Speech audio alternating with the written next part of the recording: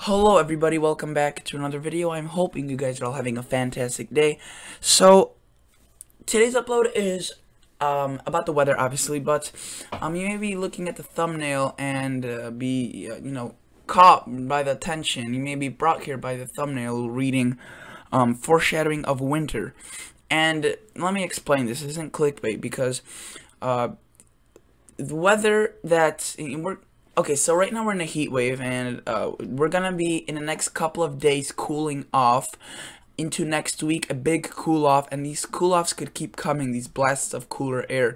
And this could be a foreshadowing of the future because I made a video quite early on a couple weeks back and it showed the scientific data as to that Cooler blasts of air in July and August usually lead to a cooler winter. I'll post a link to that video in the description box below. Very interesting um, scientific data, and that's why I'm titling this video something along those lines. Um, and if you if you like these type of videos, if you wanna uh, enjoy this channel if you want to make uh, you know this channel grow and if you want to see this more of this work uh, you could consider subscribing and make sure to, to, turn on a bell notification icon as well if you, even if you are subscribed because that notifies you every time I make a video. Um, and it's I think it's just beneficial if, if you're if you're into that. And I see that a lot of people are putting notifications on my videos so that is that is amazing. Thank you for that and uh, let's uh, let's just jump right into this so Right now we are looking again at a heat wave and people still seem to don't understand this, but that's completely fine um because I mean right now the headlines are heat wave, heat wave, heat wave and yeah, there's to be a heat wave. It's to be very hot.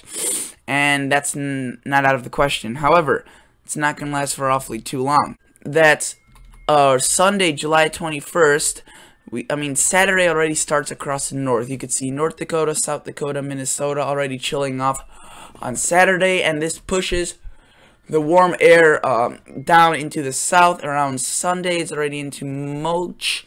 that was a combination of most and much, but most of the Midwest is under the cool weather now. And the thing is with this cool off that it will reach the south and the southeast. Sorry about that. So if you live in the South or the South, Texas, Mississippi, Louisiana, Alabama, Georgia, Arkansas, Tennessee, all the th southern states, or semi-southern states, anywhere you see this blue, you will be witnessing, experiencing much cooler temperatures. Um, some of these anomalies, which is uh, a deviance from average, are 10 to 15 degrees below average. So if you're looking at an average 90 degree day uh, in the south, you will be witnessing possibly uh, 75 uh, degrees. I mean, it's gonna be it's gonna be pretty um not not chilly, not cold, but it's gonna be very nice relief. Uh, at this time of the year, it doesn't you know these cold blasts don't don't chilly blasts don't indicate cold or unpleasantness. Um, it usually indicates very pleasant weather, low humidity, nice weather to go outside and do outdoor activities. And uh, but it's below average, and you can see that um, you know that while that wave fades away and loses in vigor, we start seeing some above average temperatures return. However, notice this: we see another pretty big Arctic blast uh, coming uh, down from uh, Canada and that's where usually they originate from even the summer. And you can see that this one could be even more powerful and delivers possibly um, obviously it won't be in the same location you know. Probably somewhere um, in the United States will deliver 12 to negative 20 degrees below average uh, this second one. And it's seeming more and more likely now that the second one will occur. Um, earlier it was you know not so much. And then they're even showing a third one up here. You could see right there possibly uh, dropping down which is still uh, less likely likely because it's so far out, but those first two are fairly likely. And I am not the only one that's finally um, agreeing or, you know, noticing this. If you look at the Climate Prediction Center 8 to 14 day outlook, July 26th through August 1st, we see below average conditions for a good chunk of the country, excluding the maybe the top west and the southeast. And then notice how uh, it's uh, neutral, so that basically says it could go either above average in these locations or it could go below average chances are at this point uh, these locations will go below average and these locations will uh, possibly go above average maybe uh, stay neutral though. If we go to the climate prediction center official 30 day outlook this is this was issued july 18th so this is actually today. Um, which uh, is very, very fresh. You could see that uh, they're showing for August. This is a 30 month, a 30 day outlook. So for August, valid August 2019, made 18th of July 2019. Uh, a good uh, portion of the country is equal chances, and some are below average.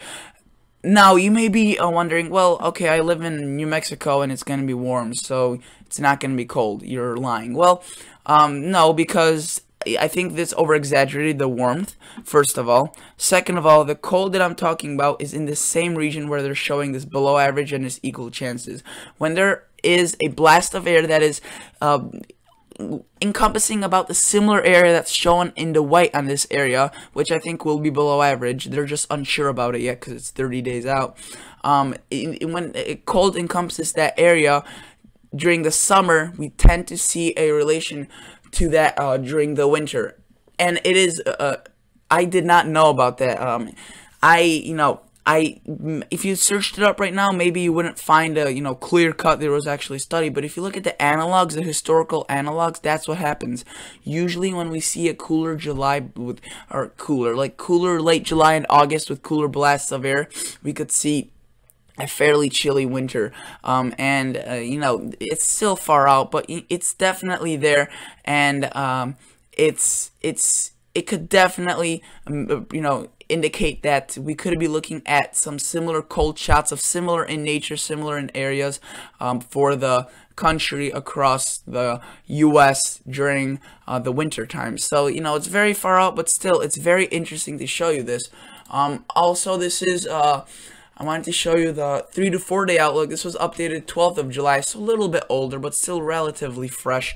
You could see July 27th through August 9th, so the 3 to 4 week time frame. You could see below average and equal chances for a good chunk of the country, which again, I think below average will be in most of the area that covers the white. Um, I don't think it's more, it's leaning towards more of a blue, expanding on a map rather than the orange. Orange is kind of disappearing. Uh, it was for us, for a, uh, it was for a while uh, dominant, especially with this heat wave that we're having.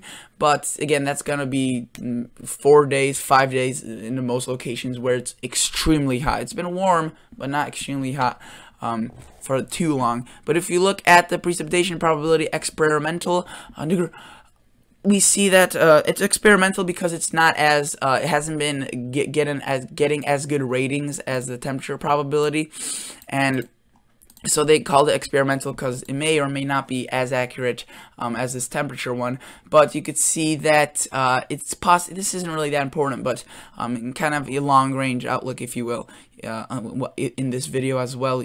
Embedded in this video, you could see possibly above average for the North and Mid Ohio Valley, Midwest Great Lakes, um, Southern Great Lakes, and then uh, we could see a little bit by the Colorado Four Corners area, kind of uh, a little bit north of that, above average, and below for the Northwest and below for Texas. But um, in terms of my winter outlook, uh, if you're still watching this video, I like eight minutes. I thank you so much. Uh, means a lot. And comment down uh, winter outlook, something like that. Just comment down winter outlook in the comments box below.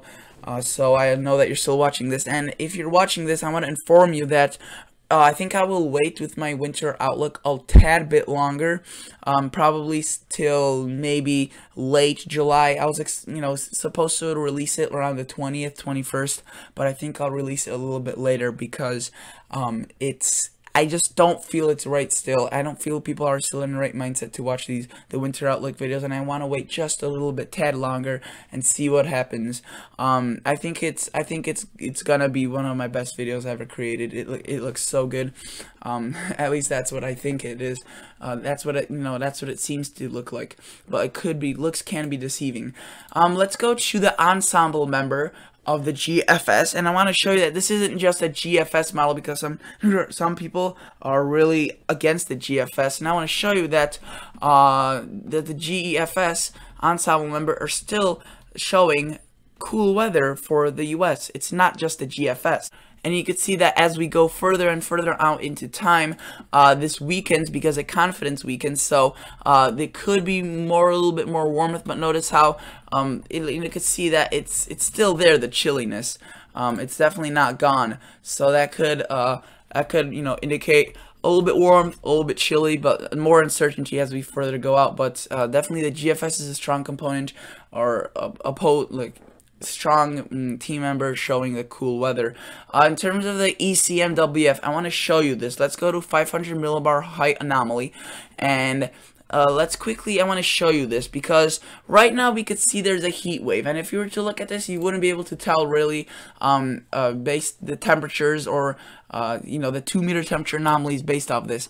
And this is completely something else. This is ECMWF 500 millibar geopotential height anomaly. Basically all you need to know from this is that this basically tells us where the jet stream is going to lie and the millibars where they're going to line up. So notice how there's tight millibars up here to the north that indicates of a high pressure rising pr uh, air and that indicates very warm air. Um, warm air rises and you can see that is what it produces and that is why we have a heat wave going on right now.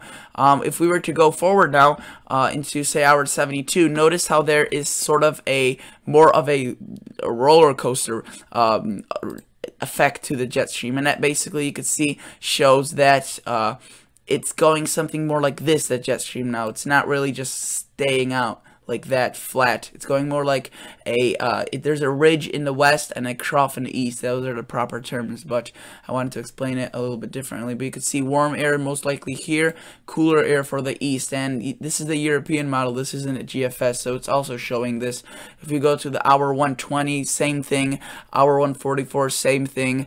Hour 168, maybe a little bit more warmth getting in towards the center of the country. But generally the pattern still looks and then it, towards the end of the forecasting period, it looks a little bit different, but um, we could still be looking at uh, some cool conditions. So, um, you know, this video is going to be over, so thank you guys so much for watching. Consider liking this video, consider subscribing to this channel, and I'll catch you all guys in the next episode. See ya.